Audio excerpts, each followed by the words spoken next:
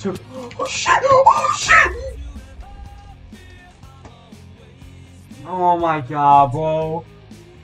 And then funny Hollywood show. won't!